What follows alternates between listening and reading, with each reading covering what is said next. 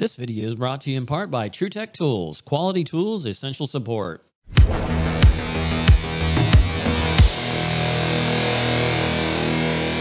All right, guys, we have us a reach-in cooler here that's not keeping temperature. The maintenance guys cleaned up the coils and it's still not working right. It's too cold, it's too warm. So let's go in here and take a look at it and see what's going on. Haven't done one of these for a little while, so I think it might be good to show it again. So let's go ahead and take a look at it and see if it's just a thermostat issue or if it's a refrigeration issue and how I narrowed it down. So what we got here is a true. Got ourselves an old mechanical control here. I can tell because it has the metal screws right there. I wanna make sure that this sensing bulb is in the coil. So let's take a look at that. Let's make sure that all of our fans are running, which they all are. Our coils look like they're clean here. When I looked earlier, yeah, they're clean, so we've got good airflow there. Let's take a look downstairs down here and take a look, see what we got on this.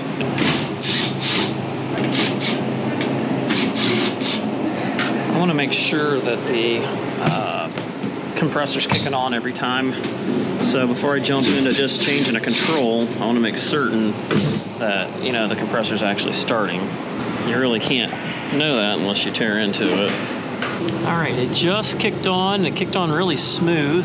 Fan's running, so we know with the condenser fan, as of right now, it's working okay. We don't have any shorted wires. Let's see if they've got an isolation relay. So what bothers me is if I change this to electronic control, that there's a chance that it may end up taking electronic control out because they didn't provide a isolation relay to kind of take the brunt force of the amperage of the uh, compressor starting.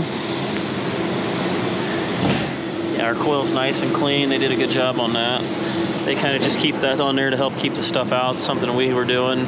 So they just copied us, but they're using a thicker material, which kind of, I think, could be a problem. Now, what you can do, and I kind of talked about it in the past, is you can actually stop the evaporator fan, stick your thermometer in there, and if it gets down to about 18 degrees area, which is about what this actually shuts off at, because these thermostat controls are your actually defrost controls too. They are constant cut in, so they always kick in at like say 38 degrees or what have you. Uh, they cut out at about 18-ish, give or take. Some do it, you know, up or down a couple degrees. But either way, they're sensing coil temperature. And if the coil doesn't get down to temperature because it's not got enough refrigerant in it, it won't shut off. And it just runs and runs and it'll start to freeze up. But when you're getting all these wild swings, only thing it could be is the compressor's not starting or the control's junk. And I'm thinking towards the control being junk because we are perfectly uh, within range. When we got here, this thing was running right at about 34 degrees area, which looked pretty good. I'm gonna check and see which control this one takes. I think it takes the electronic one that I've got, so probably just go with that and go that route. So obviously I'm at a uh, place that's restricted, such as a school, and they've got door safeties here, the magnetic kind. So to get in and out without locking yourself out, all I do is I put my door jamb here, and that blocks it from making good contact to the magnet, and it won't lock me out. So there it makes the buzzer happy but yet I don't get locked out. And then I remove that when I walk in and out. That way you're not compromising security because literally I'm parked not even 20 foot away. So nobody's gonna sneak in in the meantime. Surprisingly, I actually stock these on the truck and I actually have one here closer to the, the back door. Comes with the coil sensor and the sensor for the uh, air. I mean, you guys have seen this a couple times. This new one here comes with the relay. The old ones did not. Uh, my original one, let me look here, see if they got rid of it yet. Did they sneak one in? Yeah, this one here doesn't have that relay. I would prefer to have that relay on all of them. Unfortunately, they do not come all come with it, and since uh, the guy that's in charge of this place is one of my friends. I'm gonna make sure that I use the one that's got the best chance of not having problems. We're gonna go ahead and get that mounted down below. Let's get this thing up and going. You guys have seen this before, but we'll go ahead and go over it. I did it in another video. Uh, when these first came out, it was kind of cool because this kind of replaces a lot of different thermostats. Uh, and because it's actually sensing air temperature for the off temperature, it's not as critical far as you have more more opportunities. So anyhow, uh, Door Jamb, check those guys out. That thing's awesome. So we got our temperature control here, which we've got our two different sensors, probe one, probe two. Got a generic checklist on the back here, tells you what it's doing. You got your neutral, line in, compressor going out, and auxiliary for uh, fans that are different. There's the thing I was talking about being different. This is a isolation relay. I don't know, it's about got to be 120 volts. What's this rated for? This is rated for 75 to 240 volts. In Thailand with pride. All right, so the black one goes in the air path, the white one goes in the coil. Shoot, has to be done by a qualified technician. Down here is our power plug. There you go, it's 120 volts, so we're good on that. And it's not been tapped or touched or molested by other people, so no reason to dink with the refrigerant if we don't need to. So we're gonna go ahead and drop this down. We got the temperature control right here, which looks to me like, yeah, this, it's, it's connected in there to the coil. It's not very well connected in there. You can see that half of it's out here, but they do have it in there. Looks like it's been in there for a little while. So we're just gonna change it. I'm not taking a chance on having a call back on it. It looks like it's the original one, possibly. They actually hooked the putty back around the uh, tube that you're supposed to put around it. You need to figure out which one's the hot wire, because that's the one that has to go into the controller. Sometimes we'll take this light out. Case scenario, we'll take the bulb out so it doesn't get broke.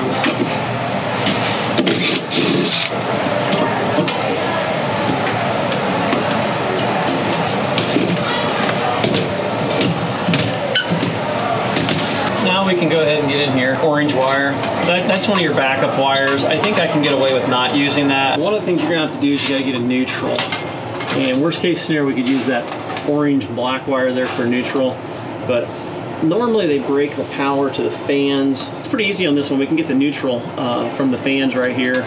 If it was a freezer and things like that, that would cause some issues, but you gotta make sure that neutral is constantly powered. We wanna make sure that this is gonna reach that control, so we're gonna come high back here and kind of get in closer to this. So we can kind of go right there. This should be neutral if everything's wired right. Strip that back. We'll check all that here in a second. Get the little Wago here. Let's plug that in there. I like looking at it from the back side to make sure that it's actually getting the wire into the socket far enough that it's not going to pull out and it's not exposing a wire. Blue and white one, whether that's exactly the one, we're going to use it for neutral either way. Uh, they have a couple smaller spade terminals over there, which are for the uh, relay. So we're going to connect that right on with the neutral. That's what I ran into a second ago is the neutral did not fit in there on the terminal. There we go. So there's neutral. There's your um, wire going down and back again. That's going to be these two here. So your compressor, whatever one goes down below, we're to hook it to that. So we got to figure that out. We got to turn the power back on, make sure these stay isolated. We'll grab our meter and we'll check that. We're to take it, grab these two. We're to find out which ones are hot lead. So we're to go to one of these. We're gonna shock ourselves and we'll go to ground. Nothing there. Let's go to this one. There's 121 volts. So that's our hot lead right there. The other one's gonna go to the compressor. A lot of times I'll use either black or red. Since I have the red available, I'm going to go ahead and put the red on there like this. That way we know in DC terms, you figure, you know, some people get the, the relationship here, but obviously this one's our power wire. Most guys don't even do this. So we'll hook that one up. See our line in. There you go. You can see the lights are lighting up. Now that's going to send power out on this one here, which is the compressor. Right here on that one. And now we need to get our probes in there, but we're gonna go ahead and unplug it now. That way we don't get shocked or blow the control up. Probe one is black. That's gonna be the one that goes in airflow.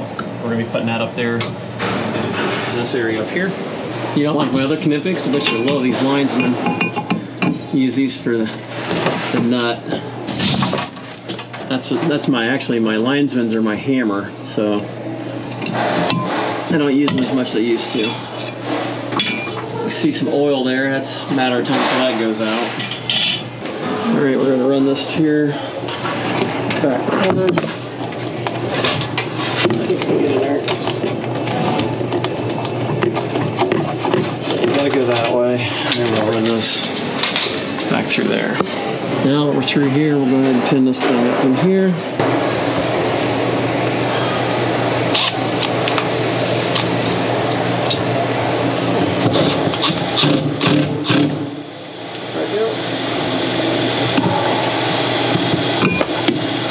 Bring that black probe over here to number one. Go ahead and attach that. Gonna get it hooked up. I will reattach all this and pretty it up when I'm ready to mount it up. We're gonna go ahead and bring this one. What I'll do, a lot of times I'll go ahead and bring this through some of this here to kind of make it easier so it doesn't get caught on stuff. You can mount it on the back side with an eyelet, but for me, this just makes it a little easier so it doesn't fall down. That's crap you gotta screw with. I try not to attach it to the power wires because I don't want any interference into my uh, sensing cables as far as temperature. I don't want nothing thrown off. It doesn't say that it'll do that, but I've just had problems in the past with things like that, so we're just gonna attach that to there. Kind of clean up some of this wiring here. Then we'll strap the excess black and whatever else together with their things. So this has to go that way if you want it to point towards it. So we'll mount it like this. And it'll go like that. Pull that through like that. Make sure all those wires are clear and everything, and then we'll slide it up into place. Uh, I'll go ahead and get one screw.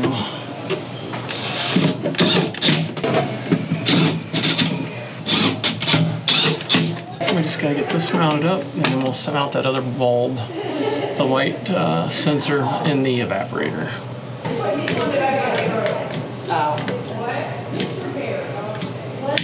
Oh, that's fantastic. Junk. That's great. That's really great. So I did screw up. What we're gonna do is we're just gonna put a little dab of silicone on the back side. Once that dries, it'll be fine. You can easily take silicone apart. Uh, don't want to get too much or get inside the, the switch there. Just gonna put a little bit there to help hold it in place. So I know that this is on zero. Default's right around four, four and a half, five area. I'm gonna go ahead and set that up in there. There's that one. We're going to get that white wire back here and we're gonna stick it up here at the top of the coil. Just at the very top, one, one right below the refrigerant tube in the coil. And we'll pinch that back together like that. And that way it holds it in place slightly. And we'll just stick this other little bit of looseness back in there. And that'll keep everything from getting touched because as you can see, you're not able to see that at all. And it's not gonna fall and sag. So we'll be good there on that. And that's why I put those wires through the loops. Down here is where the power gets sent to the compressor. What we're gonna do is intercept it and we'll jump it so that instead of that power coming right from the thermostat, it's gonna power a relay instead. As you'll see here in a second, if I can ever get this garbage all undone because it's such a wreck. Here's all your whites for your neutrals. The power wire coming down from above is going to eventually make its way over to this black lead, which goes to this pink one. So this pink one is going to be what's coming from the thermostat. That's what we need. We're going to go ahead and snip that. This one needs to hook up to the coil of the relay. We've got two tiny spade terminals. They give you one crimp one, which we're going to put it on that right there. Normally I would not pokey, but this is so small. I'm going to use the pokey. There we go. That's going to hook onto a coil like that. Then we're to need a neutral. That's the other small one here. That's going to tie into the white ones. They used to have a bigger relay. This one's not very big. And that's going to poke right in here with these other neutrals. And there's one empty spot. Look at that. Up it goes, and then it is. Now that'll energize the coil. Now, we're going to take the power lead that was cut loose, which is right here, and we're going to attach that to the relay. That gave us enough Wago terminals here to wire the block. So let's go ahead and get this one right here. And we'll lock it in there, and then we're going to extend it to this one. There we go. And that's going to come down to take your choice, don't really matter. It's just an open closed circuit. And let's just tie onto one side of the relay here. And we got one left over here that's going to go to one of the powers, which is going to be right here. So this black wire here, black mess, which they have one extra, and this is stranded, but it should fit in there. Yep. Yep, they have other strandeds, so that's good. Just need to get a crimp on, and we will crimp it to that. And the whole purpose of this is, is they're letting the uh, thermostat that's you know lightweight relay in there, which originally they wired straight to the compressor, control the coil. The coil is just going to make the switch close. It's going to let the power go in and out to the compressor, and you'll be hunky dory. Uh, we're going to mount this thing in here somewhere, probably on the bottom. And honestly, I think we might be able to tie on to that one screw there. We wouldn't have to fool with it because that's pretty thick, pretty thick stuff. There we go. It's not going anywhere. It's tight. I'd usually put a couple of them in there, but I'm not too worried about it in that box like it is. We'll be fine. That's really, really thick metal right there. And what to tap into you're gonna have to go get a pretty good size screw. And it's not gonna go anywhere. Okay, let's go ahead and turn this thing on.